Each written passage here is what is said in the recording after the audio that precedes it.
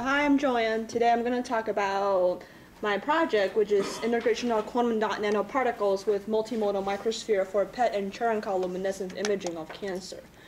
I'd like to start with um, just a little background on molecular imaging. It has become an indispensable tool in biomedical research by providing, providing spatially resolved molecular information for drug development and diagnosis of different diseases. Take an example. This is the, so for nuclear imaging such as MRI, PET, or CT. It uh, has been very useful in both the research and clinical setting because they provide very valuable information, both structural and functional. But recently there has been a new development, which is the ability to optically visualize radioactive decay signals from medical isotopes, which is a really good way to bridge the information acquired from nuclear and optical imaging. And it's particularly useful because there are some medical isotopes for such as well the ones that are for treating um, cancer that are they're radioactive but the signals itself cannot be observed using PET or SPECT. So when we come to treating patients, we don't know if we're giving the right dose or if the treatment is being delivered to the right location. And this way of optically visualizing the radioactive decay is a new way of, or so far the only way to look at some of these isotopes. So that leads us to look at this imaging modality called luminescence or CL imaging. It's a type of radioluminescence that's that are emitted when charged particles travel faster than the phase velocity of light in the dielectric medium. And if you look at pictures of a radio reactor, this is usually what you will see. You will see this really beautiful blue glowing light that's actually not you know, caused by an exterior source such as you know, other kind of light. It's coming from the radioactive decay itself. And this process is best described using the Frank-Tamm formula uh, that are shown here. And the really um, the key the two take-home messages from this equation is that first uh, CL emission, it's a continuous emission and it is stronger at shorter wavelengths, which is why when we can, when our human eyes can see it, it appears as blue. And also the emission intensity increases with higher refractive index. And in terms of the radio reactor, it is in, it is water, which is higher, higher than the air, and that's why we can. And it's stronger. It will get stronger as the refractive index of the medium um, gets higher. So, um, and reason so this type of luminescence has been discovered many many years ago, but it has become a relatively new topic in biomedical imaging because now people found out that a lot of the medical isotopes, such as uh, fluorine 18 or copper 64 that are uh, approved for medical imaging actually also emit these this type of luminescence. So that's why people started to using it to for biomedical imaging. But the thing is that you saw the picture earlier the uh, emission is it's blue light. So that's not really good for in vivo or tissue imaging because blue light is tends to be high, highly absorbed in the tissue by the hemoglobin. So to make it better for tissue imaging, we want to kind of shift the emission to our longer wavelength, so in the red region, and we want to um, accomplish that by using by uh, using this protein microspheres we developed in our group and incorporating the near infrared quantum dot nanoparticles as a way to make this shift. And also we want to, and this is how we'll do it. So um, this is originally the CL emission. We want to use it instead of external UV light to excite the quantum dots.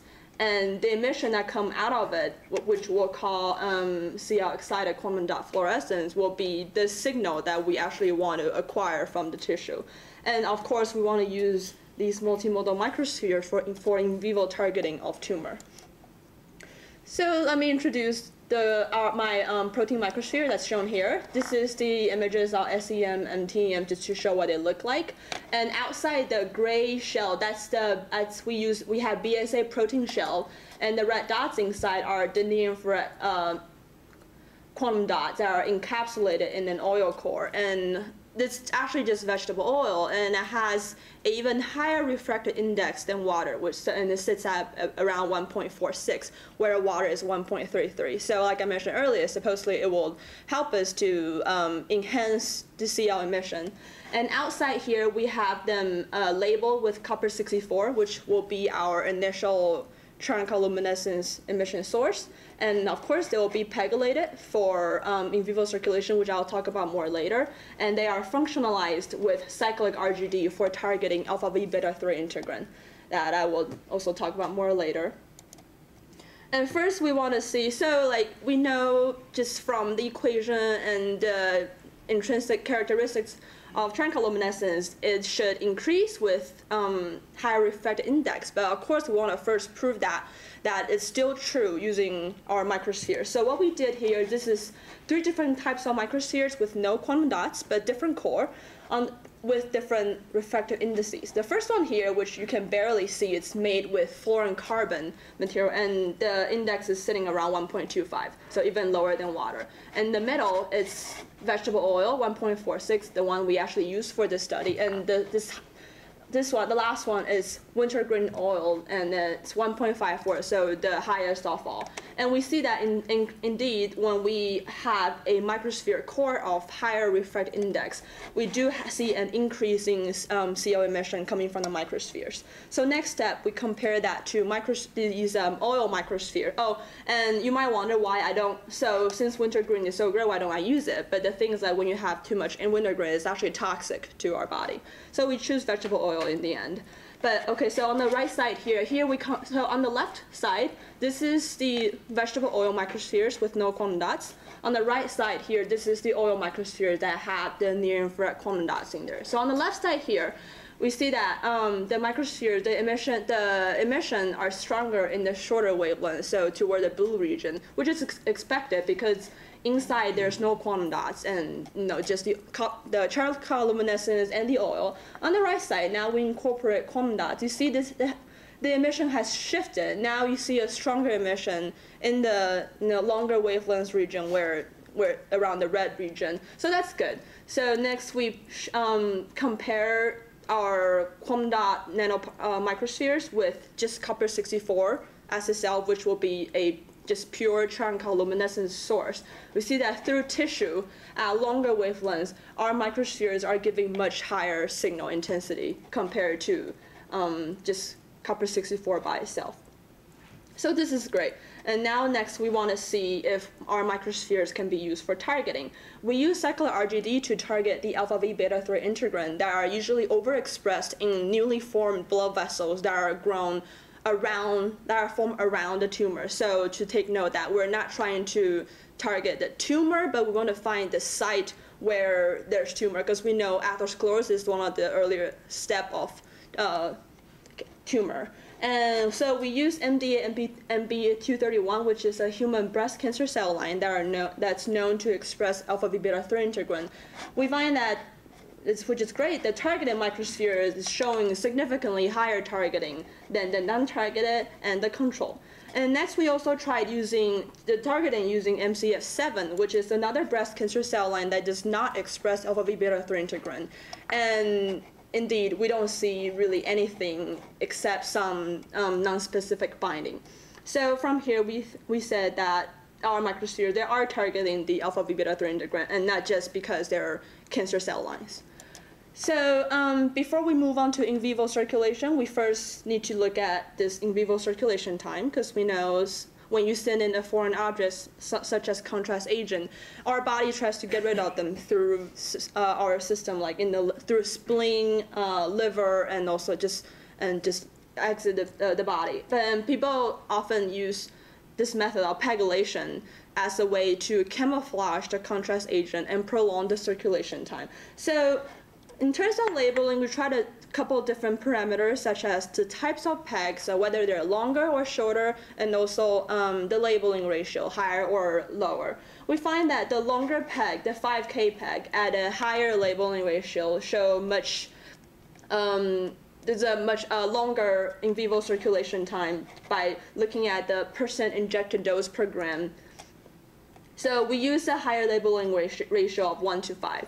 And then we use dynamic PET to look at how the microspheres circulate and um, in the body.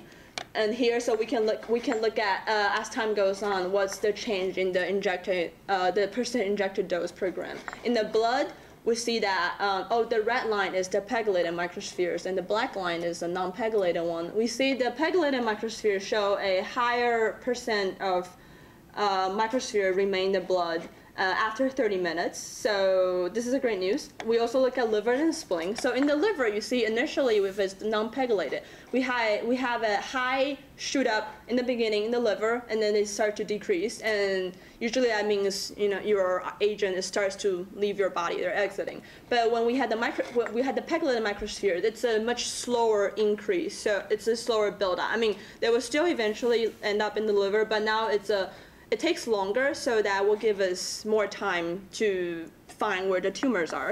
And in the spleen, we see similar uh, results. Is that instead of a high um, increase in the spleen and then fast decrease, we, we saw the opposite. So this tells us that the pegylated microspheres, they're showing a longer circulation time. So now we moved on to in vivo targeting. We used a rat model to target the mammary tumor, and then we'll, um, we use we use uh, in vivo PET as a way to verify that if we are seeing any signal coming from the tumor, this is where the this is from the PET and PET CT. This is where the tumor is. So with that information in mind, we perform ex vivo CL, CLFL imaging.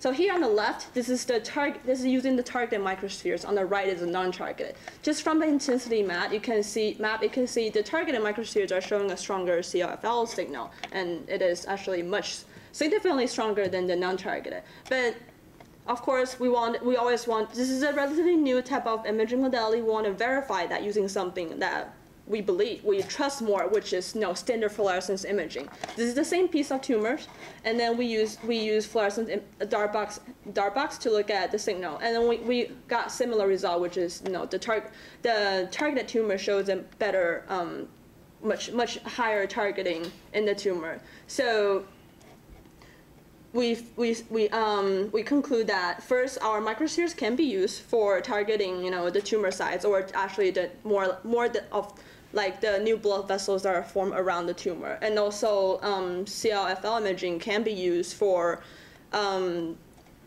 tumor imaging.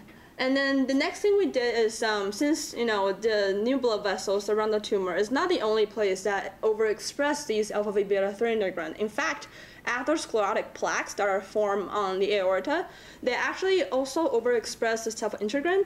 And so we try, why not? Let's try to target these as well because it's a it is a problem because atherosclerosis usually they're often not discovered until much later when the plaques erupt in your aorta and give a heart attack.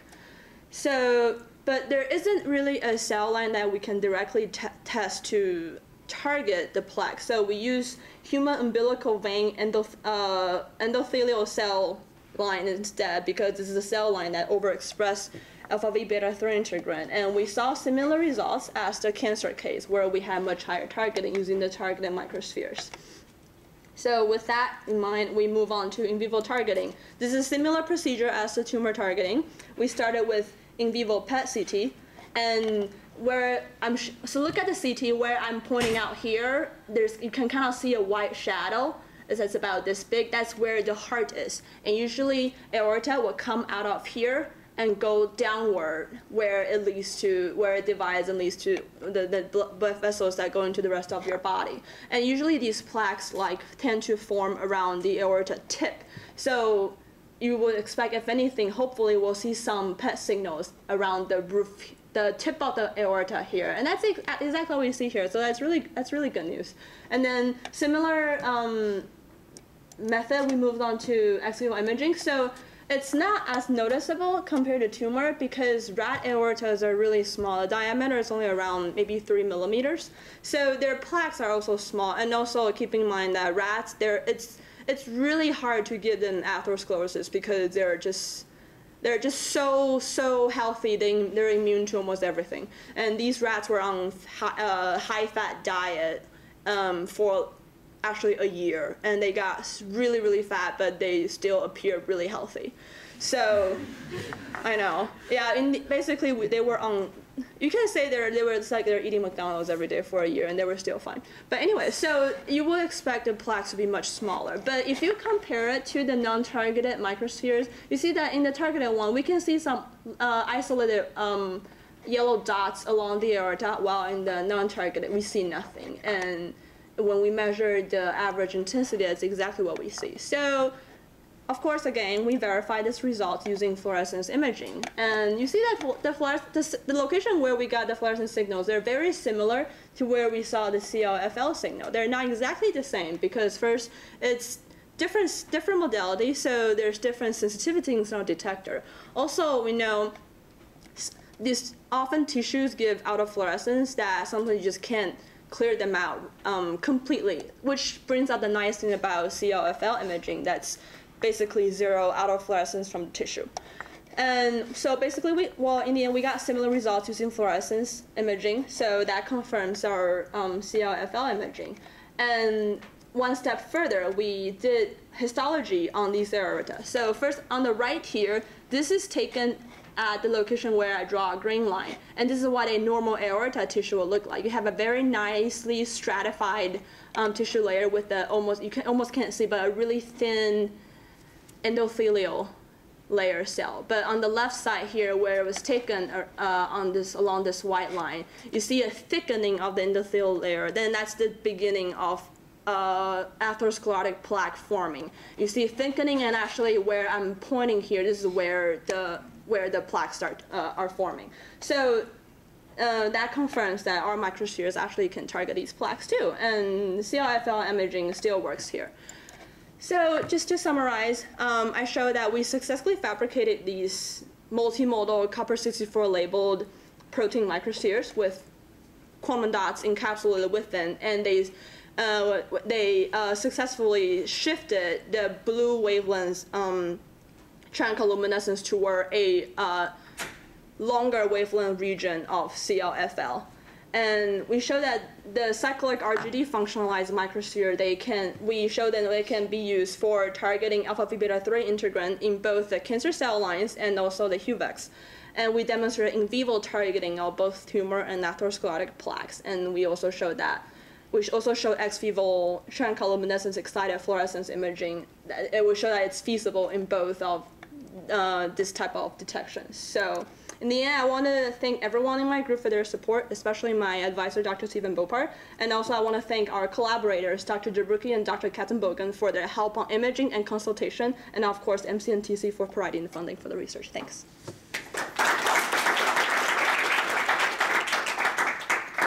Questions? We have about like five minutes for questions if people have questions.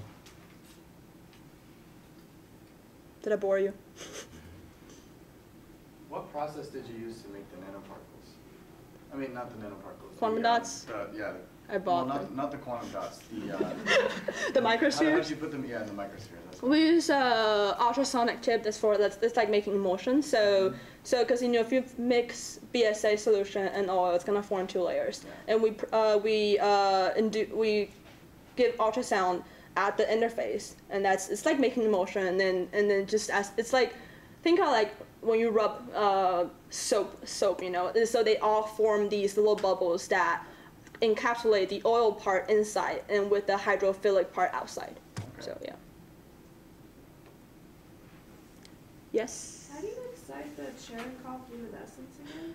You don't excite it just it happens naturally. So isotopes um, the moment they exist because think of them as so they're just the same atoms as the rest of the atom we see on the periodic table, but the difference is that they're they're highly unstable. And we know everything wants to reach equilibrium where stable is. So that's what it does. It's decaying until it's stable. And during that process, when that when that decay is happening, say in the water or in the oil, because the the uh, the charged particles in this case it's a positron, so a positive electron, as it's traveling through the water, that speed. So think of um, like it's like um, oh sure I forgot. But anyways, when um, when it's so because we know light travels the fastest in vacuum, right?